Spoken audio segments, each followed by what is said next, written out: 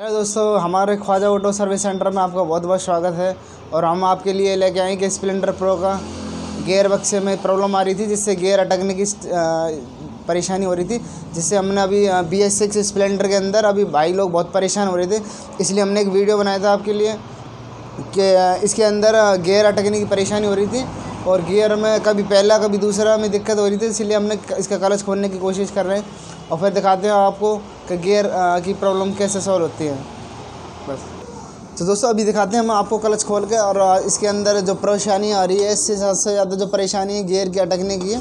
और इसलिए हमने इसको पहले इसको क्लच को ओपन कर लेते हैं। फिर आपको दिखाते हैं क्लच के गियर की प्रॉब्लम कैसे सॉल्व होती है। तो दोस्तों, हमने अभी ये क्लच के टापे के पूरे नट खोल लिए जा रहे हैं। तो अभी आपको दिखाते हैं और क्लच और पहले सलेंसर खोलेगा, और उसके बाद में सलेंसर के दो बोल्ट आ गए हैं और एक बारह नंबर का पीछे और उसके बाद आठ नंबर के बोल्ट क्लच के टापे के होते हैं, फिर ये हम खोल लेंगे और फिर आपके आप सामने दिखाएँगे कि क्लच की प्रॉब्लम कैसे सॉल्व होती है।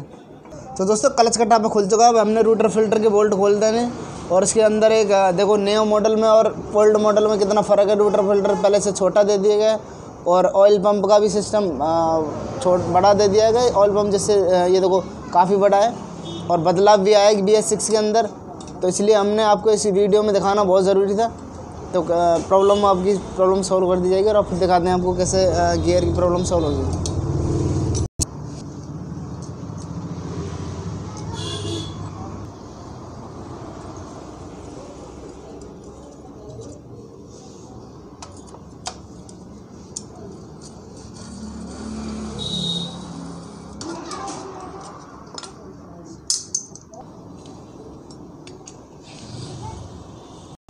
दोस्तों, ये क्लच का नट है।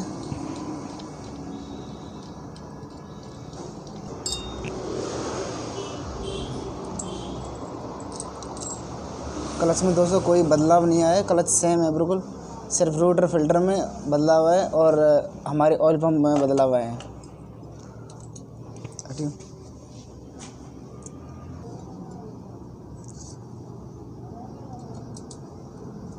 तो ये दोनों नट ढीले होने के कारण से जिसमें गियर अटकने की परेशानी हो रही थी तो इस वजह से हमने इसको टाइट कर देते तो इसी वजह से ये ढीला पड़ा था। तो इसी वजह से हमने इसको टाइट कर दे रहे दोस्तों, ये फुल टाइट हो चुका है पूरा बोल्ट और देखते हैं गियर कैसे कैसे काम कर रहे हैं। ये भी टाइट कर दें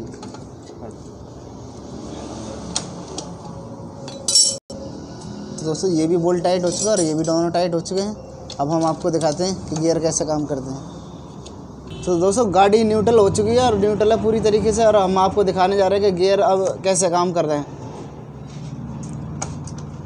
तो देखो दोस्तों, दूसरा और ये तीसरा और ये चौथा लग चुका है गियर अब ये देखो पूरी तरीके से फिटिंग है और गियर पूरी तरीके से काम कर रहे हैं।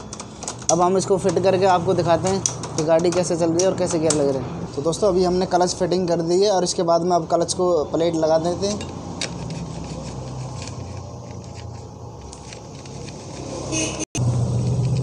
दोस्तों क्लच पूरी तरीके से फिट हो चुका है और एक हमने एक बोल्ट और ये वाशर लगा देनी उसके बाद इसको टाइट कर देंगे। तो दोस्तों, हमने क्लच की गोटी और हैंडल ले लिया और कचा क्लच होल्डर से पकड़ के इसको टाइट कर देंगे पूरी तरीके से।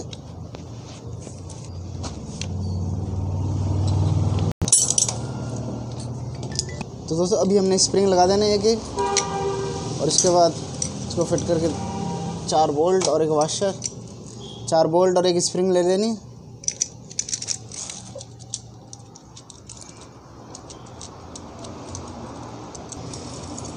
अभी आपको परेशानी इसमें एक दो तो दोस्तों कलच पूरी तरीके से फिट हो चुका है।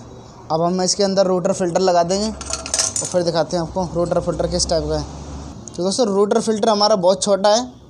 तो कंपनी ने छोटा दिया है, इसी वजह से इसकी जो वेटिंग है वो कम कर दी गई है। तो हाँ इसके अंदर देखो एक छोटा सा सुराख होता है और उसको साफ़ कर लें बढ़िया तरीके से, ठीक है, ताकि वो कचरा ना ले पाए उसके अंदर।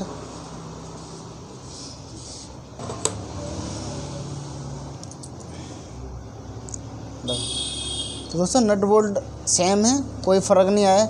नट बोल्ट सेम है, सिर्फ़ ऑयल पंप का और इसके अंदर बदलाव दे दिया गया रोटर फ़िल्टर के अंदर। बाकी तो सारा सिस्टम सेम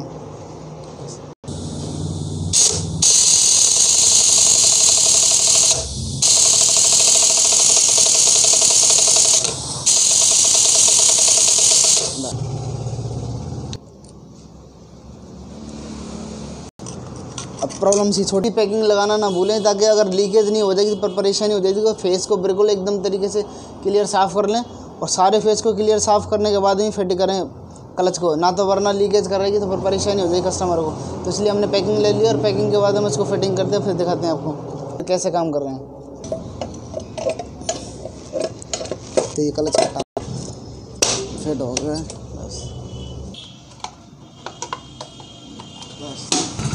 तो दोस्तों गियर हमारा पूरी तरीके से काम कर रहा है यहाँ पे। और ये देखो, पहले, तीसरा, चौथा, पांचवा सारे गियर लग रहे हैं, एकदम फ़र्स्ट क्लास पहला, दूसरा, तीसरा।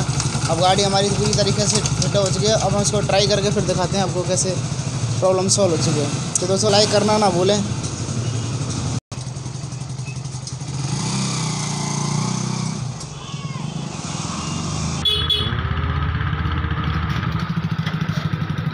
हमारी कंप्लीट हो चुकी है और हमारे दोस्तों, अब वीडियो को लाइक एंड सब्सक्राइब करना ना भूलें। तो गाड़ी की गियर बक्स की जो प्रॉब्लम थी, वो प्रॉब्लम सॉल्व हो चुकी है। तो दोस्तों नेक्स्ट वीडियो में फिर मिलते हैं। जय जय भारत।